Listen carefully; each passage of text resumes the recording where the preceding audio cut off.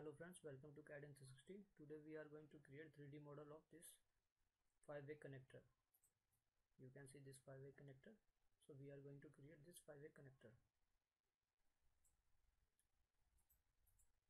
Click on the new drawing and then start your drawing. First of all you have to switch to 3d modeling workspace for which you have to click on this drafting and annotation. Click on this and you will see various types of option in which we have to select 3D modeling. Or you can select 3D modeling from here click on this icon and then select 3D modeling. Once you you will switch to 3D modeling then click on this home button to switch to isometric view. Okay? And first of all click on this line and create a line of 50 length. 50 press enter twice to create a length create a line of 50 length. Then you have to create a circle on front face here on this point. So to create a circle on front face you have to align xy plane to the front or you may say xy plane to the front for which you have to click on this and then select the front. Now you can see your xy plane is aligned to this plane and your top plane is changed to front side. Now you have to select circle then click on this point and then create a circle of radius 12 then create a circle of radius 15 and again create a circle of radius 16 1 6 now select extrude command and then select a cir circle which is of 15 radius then press enter and you will have various options here. Select path or type P enter then select extrusion path select here. Click on this 2d wireframe. You will see various options for visual style. Click on the realistic now you can see your circle is converted to cylinder by using the extrude command. Okay. Now you have to create you have to use extrude then select this circle press enter then specify height extrusion minus 10 now you have to select union command. Since you you have two different bodies and you have to unite this. So use union command. Click on this and then select the two bodies and then press enter. Now you can see the bodies are united. Then click on this solid and under under solid editing click here and then select chamfer edge. Click on this edge and here you have loop and distance two options. Click on this distance or type D enter. And here you can see specify distance one. Distance one is from this edge on the front face or front side. And distance 2 will be from this edge towards the length. So we have to specify here the distance one which is already specified to the center 2 and specify distance 2 now specify 7 press enter. Press enter twice to create a chamfer. Click on this orbit to see it clearly. Okay. Right click click on the exit. Now here you have custom view. Click on this and then click on the northwest isometric view. Click here and then select fillet edge and create a fillet. Now select the edge. Then you have here three options. Type R enter and then specify radius value 2 and enter. Again enter twice to create a radius fillet radius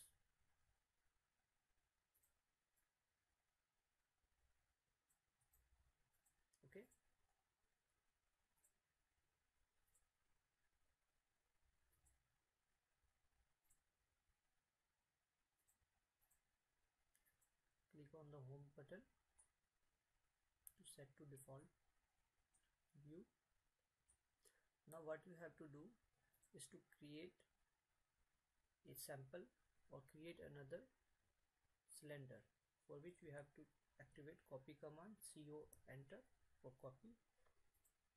Select the whole object press enter first point and then specify second point to create a copy of this cylinder okay. Now use 3d array. Type 3d array then press enter. So first of all exit this command and switch to 2d wireframe. Now activate 3d array. Press enter. Select the whole object. Press enter. You have two options rectangular and polar. Click on this polar. Enter the number of items 4 specify the angle to fill press enter rotate arrayed object press enter again. Now specify center point of array click on the center point here. Then specify second point on the axis of rotation. Click upward. Now you can see click on this click on the realistic and you will see your part is arrayed. Okay? Again switch to 2d wireframe and use 3d rotate. Now you can see 3d rotate is showing. Press enter to activate 3d rotate. Select the object. Press enter. Now specify base point here. Now you have to rotate this object along x-axis which is in red color. So select here. Select a circle of red. Click and then specify minus 90 since you have to rotate anti-clockwise minus 90 okay? Then select this whole circle whole uh, body and then use move command m enter and specify base point select the base point. Then here you can see center point and place it here. Now switch to realistic. And you will see the part is aligned to the specified position. Okay? Then you what you have to do is to unite each and every part for which you have to select union command here and select all the parts. And then press enter. So each and every part are united and this is one part. Now you have to create a hole you have to create a hole you can see here. So for which use press pull command and then select here bounded area. You can see here bounded area. Click and then click outside. Again click here and throughout click. Here use orbit and you can see the throughout hole is created using press pull command. Okay. Right click exit. Again exit. Now you have to create a hole from here. So for which you have to change to 2d wireframe. Then use extrude command. Then select this circle. Press enter. And then select the center point then switch to realistic. Now you have major body here and you will see minor body here. So you have to subtract minor body from the main. Subtract command selected select main body and then select minor body and then press enter so select the main object. Oh something went wrong. Select subtract command. Select main body press enter and then select here. And then press enter and you will see the hole is created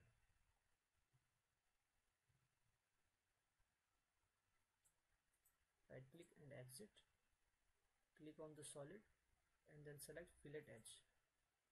Select the edges which you want to fillet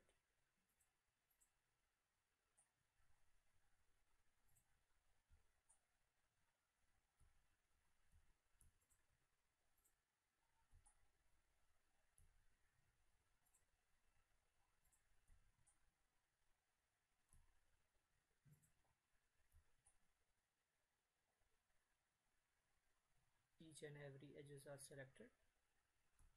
Now click on radius or type R enter. And specify radius value 3 then press enter twice to create a fillet edge fillet.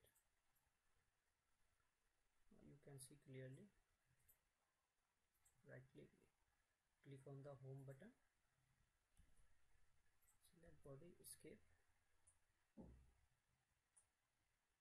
select the main body type M press enter now first point and then second point and select each and every sketch you want to delete and delete one by one.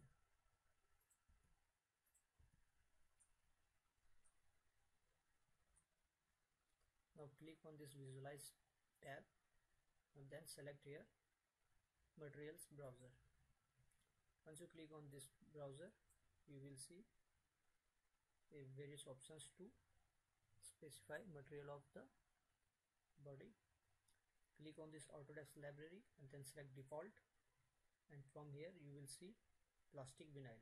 Click on this and drag and drop on this model. Click on the close button and now you can see your five-way connector is created using 3d modeling. And you applied the material on the object. You can see it clearly.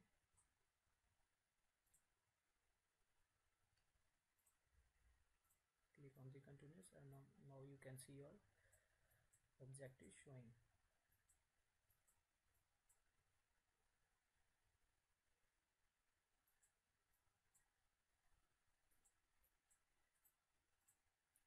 Click on the home button Thank you for watching this video. Please subscribe for more video tutorials.